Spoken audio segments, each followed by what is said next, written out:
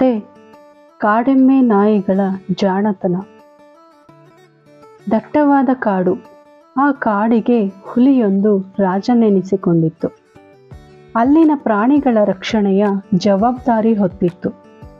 ಆದರೆ ಕ್ರಮೇಣ ಕಾಡಿನ ಸಣ್ಣ ಪುಟ್ಟ ಪ್ರಾಣಿಗಳಲ್ಲದೆ ದೊಡ್ಡ ಪ್ರಾಣಿಗಳನ್ನು ಹಿಡಿದು ತಿನ್ನತೊಡಗಿತು. ಇದರಿಂದಾಗಿ ಕಾಡಿನಲ್ಲಿ ಬಹುತೇಕ ಪ್ರಾಣಿಗಳು ಖಾಲಿಯಾದವು. ಆದರೆ ಅದೇ ಕಾಡಿನಲ್ಲಿದ್ದ ಕಾಡೆಮ್ಮೆಯನ್ನು ಹುಲಿ ಹಿಡಿದಿರಲಿಲ್ಲ. ಕಾಡಿನಲ್ಲಿ ಒಂದು ಪ್ರಾಣಿಯಾದರೂ ಇರಲಿ ಎಂದುಕೊಂಡು ಅದನ್ನು ತಿನ್ನದೆ ಹಾಗೆಯೇ ಬಿಟ್ಟಿತ್ತು. ಇದನ್ನು ತಿಳಿದುಕೊಂಡ ಕಾಡೆಮ್ಮೆ ಧೈರ್ಯವಾಗಿ ಹುಲಿಯ ಬಳಿ ತೆರಳಿ, ನೀನು ಕಾಡಿನಲ್ಲಿರುವ ಪ್ರಾಣಿಗಳ ಹಿಡಿದು ತಿನ್ನುತ್ತಿರುವುದು ಸರಿಯಲ್ಲ ಎಂದು ಆಕ್ಷೇಪಿಸಿತು. ಇದರಿಂದ ಸಿಟ್ಟಿಗೆದ್ದ ಹುಲಿ, ಇದು ನನ್ನ ಕಾಡು.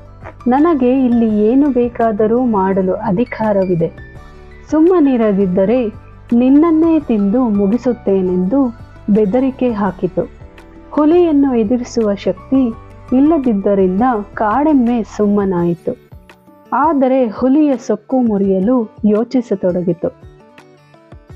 ಕಾಡಿನಲ್ಲಿ ಪ್ರಾಣಿಗಳು ಖಾಲಿಯಾಗಿದ್ದರಿಂದ ಆಹಾರ ಸಿಗದೆ ಹುಲಿ ಕಾಡಿನಂಚಿನ ಹಳ್ಳಿಗಳತ್ತ ನುಗ್ಗತೊಡಗಿತು. ಅಲ್ಲಿನ ಮನೆಗಳಲ್ಲಿ ಸಾಕಿದ್ದ ನಾಯಿಗಳನ್ನು ಹಿಡಿದು ತಿನ್ನತೊಡಗಿತು. ಸುಮಾರು ಐದಾರು ನಾಯಿಗಳು ಹುಲಿ ಬಾಯಿಗೆ ಬಲಿಯಾದವು. ಇದರಿಂದ ಹಳ್ಳಿಗಳ ನಾಯಿಗಳು ಆತಂಕಕ್ಕೆ ಈಡಾದವು. ಎಲ್ಲ ಮನೆಗಳ ನಾಯಿಗಳು ಒಂದೆಡೆ ಸೇರಿದವು. ಹುಲಿಯನ್ನು ಹೀಗೆ ಬಿಟ್ಟರೆ ನಮ್ಮನ್ನು ಸಂಪೂರ್ಣ ಮುಗಿಸುತ್ತದೆ ಎಂದುಕೊಂಡು ಅದರ ವಿರುದ್ಧ ಸೆಣಸಲು ಉಪಾಯ ಹೇಳಿದವು. ಕಾಡಿನಲ್ಲಿ ಹುಲಿಯ ಬಗ್ಗೆ ಕೋಪಗೊಂಡಿರುವ ಕಾಡೆಮ್ಮೆಯ ಬಗ್ಗೆ ತಿಳಿದುಕೊಂಡು ಅದರ ಬಳಿ ತೆರಳಿದವು.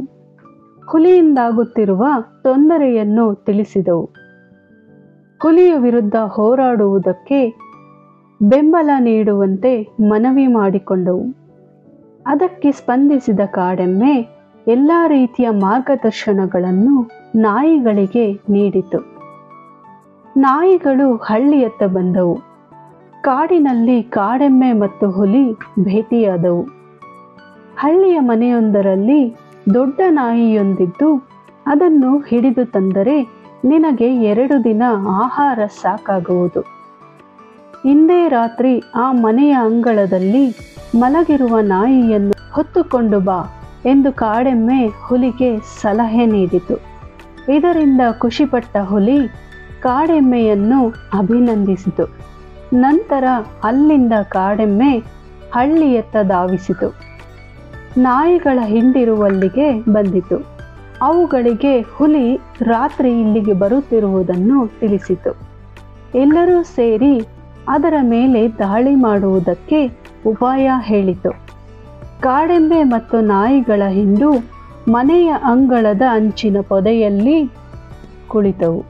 ಅಷ್ಟೊತ್ತಿಗೆ ಹೆಜ್ಜೆ ಹಾಕುತ್ತಾ ಬಂದ ಹುಲಿರಾಯ, ನಾಯಿ ಎಲ್ಲಿದೆ? ಎಂದು ಅಂಗಳದಂಚಿನಲ್ಲಿಯೇ ಸುಮ್ಮನೆ ಕುಳಿತು ನೋಡತೊಡಗಿತು. ಆಗ ಏಕಾಏಕಿ ಕಾಡೆಮ್ಮೆ ಮತ್ತು ನಾಯಿಗಳು ಹುಲಿಯ ಮೇಲೆ ಎರಗಿ ಕೊಂದು ಹಾಕಿದವು. ಕಥೆಯ ನೀತಿ ಒಗ್ಗಟ್ಟಿನ ಹೋರಾಟದಿಂದ ಏನನ್ನಾದರೂ ಸಾಧಿಸಬಹುದು.